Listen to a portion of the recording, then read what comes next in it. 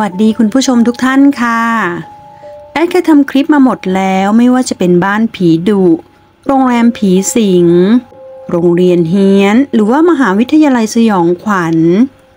วันนี้อยากจะพาคุณผู้ชมไปรู้จักกับสถานีรถไฟผีดุกันบ้างค่ะ แอดรวบรวมมาทั้งหมด 9 สถานีจากทั่วโลก ลองไปรับชมรับฟังกันได้เลยค่ะ สถานีที่ 1 คือสถานีบีกันโคเดอร์ ประเทศอินเดียค่ะ เบกันโคเดอร์เป็นหมู่บ้านเล็กๆ ห่างจากเมืองโคคาตา รัฐเบงกอลตะวันตกไปราว 257 กิโลเมตร หมู่บ้านนี้มีสถานีรถไฟเล็กๆ อยู่แห่งหนึ่ง นับตั้งแต่คศ 1967 เป็นต้นมา ไม่มีรถไฟขบวนไหนยอมหยุดรับผู้โดยสารที่สถานีนี้อีกเลย สาเหตุก็เพราะว่า มีผู้หญิงคนหนึ่ง ถูกรถไฟทับตาย และหลังจากนั้นไม่นาน ก็มีคนเห็นเธออยู่ในชุดสาลีสีขาว เดินอยู่แถวสถานีหลายต่อหลายครั้ง ยิ่งไปกว่านั้น ลูกจ้างคนหนึ่งของสถานี ก็ตายไปโดยไม่ทราบสาเหตุ หลังจากที่เห็นผีในชุดขาวนี้ทำให้พนักงานของสถานีก็ไม่มีใครกล้าไปทำงาน ทิ้งที่นี่ให้เป็นสถานีรกร้าง นานถึง 42 ปี จนกระทั่งเมื่อปีคศ 2009 ทางการรถไฟจึงกลับมาใช้งานสถานีนี้อีกครั้ง สถานีที่สองเป็นสถานีรถไฟฟ้าใต้ดินถนนเฉาเป่าประเทศจีนค่ะ สถานีแห่งนี้สร้างอยู่ใกล้กับสุสานฝังศพ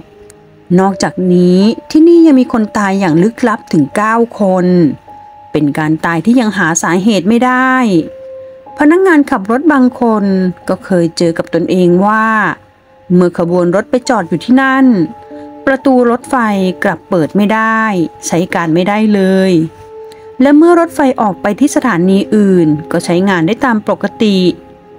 บ่อยครั้งที่รถไฟเสียโดยไม่ทราบสาเหตุ แต่เมื่อนำออกไปจากสถานี มันกลับทำงานได้ตามปกติคนงานทำความสะอาดรางบางคนก็ได้ยินเสียงของผู้หญิงหัวเราะ ทั้งที่ขณะนั้นสถานีปิด ไม่มีผู้คนมาใช้บริการแล้ว เล่ากันว่าเคยมีหญิงสาวคนหนึ่งฆ่าตัวตายที่นั่น บ่อยครั้งที่มีคนเห็นเธอในชุดสีแดง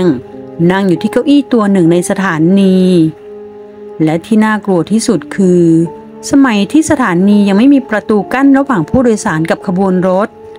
ขณะที่รถไฟกำลังแล่นเข้าไปจอดในชานศาลา จู่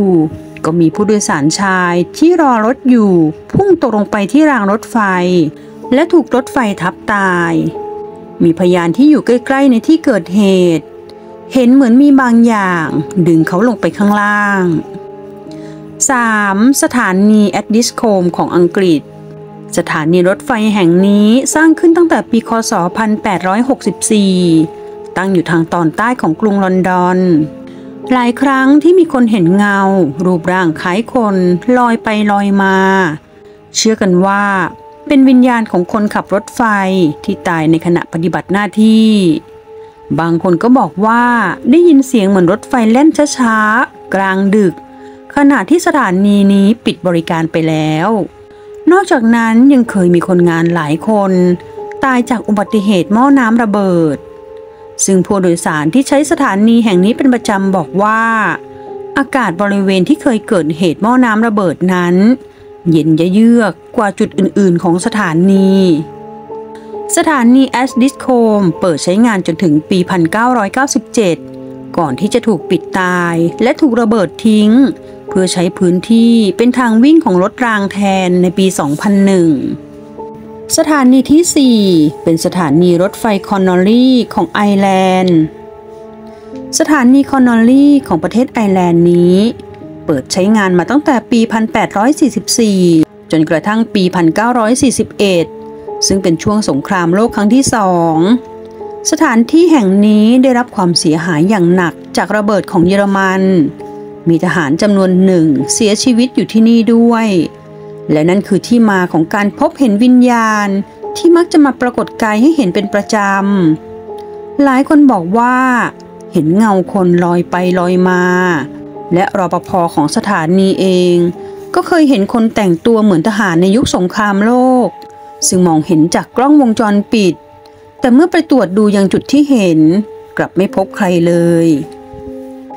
5. สถานียูเนียนของเมืองฟินิกซ์ สถานีแห่งนี้ตั้งอยู่ที่เมืองฟินิกซ์รัฐอาริโซนา เคยเป็นสถานีสำคัญ แต่ภายหลังเมื่อการคมนาคมพัฒนาขึ้น มีการสร้างสนามบิน สถานีรถไฟจึงค่อยๆ ลดความสำคัญลง จนในที่สุดก็ปิดสถานีดังกล่าวในปี 1955 แต่ยังคงรักษาสถานีไว้บริการนักท่องเที่ยว ปัจจุบันสถานียูเนียนกลายเป็นออฟฟิศของบริษัทแห่งหนึ่ง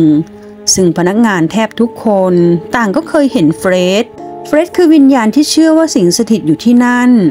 ซึ่งพนักงานที่นี่พากันตั้งชื่อให้ว่าเฟรด เพราะว่าพวกเขามักจะเห็นเงาร่างคนวิ่งผ่านไปผ่านมา โดยเฉพาะห้องเก็บของใต้หลังคา มีคนพบเจอเฟรดอยู่บ่อยๆที่นั่น ทั้งเหตุการณ์ประตูเปิดปิดเอง ทั้งเงาร่างผ่านทะลุไปมาในห้องทำให้พนักงานหลายคนไม่กล้าที่จะเข้ามาในห้องนี้คนเดียว 6. สถานีวอเตอร์ฟรอนต์เมืองแวนคูเวอร์ ประเทศแคนาดา สถานีนี้สร้างขึ้นตั้งแต่ปี 1915 อยู่ที่เมืองแกสทาวน์แวนคูเวอร์ สถานีแห่งนี้มีคนพลุกพล่าน แต่ก็ขึ้นชื่อเรื่องผีดุด้วย รปภหลายคนเจอกับตัวเองแบบจัดจะเช่น ขณะที่รปภคนหนึ่งกำลังเดินตรวจ เขาเห็นผู้หญิงแต่งตัวแบบคนยุคโบราณกำลังเต้นรำอยู่ พร้อมกับเสียงเพลงในยุคนั้น เมื่อเขาเดินเข้าไปหา ภาพและเสียงนั้นก็หายวับไปทันทีรปภอีกคนบอกว่าเห็นผู้หญิงสูงวัยคนหนึ่ง เดินตรงเข้ามาหาเขา ขณะที่กำลังเดินตรวจ ซึ่งภาพที่เห็นนั้นเขาทราบทันทีว่าไม่ใช่คนธรรมดาแน่นอน ด้วยความกลัวเขาจึงวิ่งหนี นอกจากจะเห็นเป็นตัวแล้วรปภบางคนก็ยังคงได้ยินเสียงลากโต๊ะอยู่ในห้อง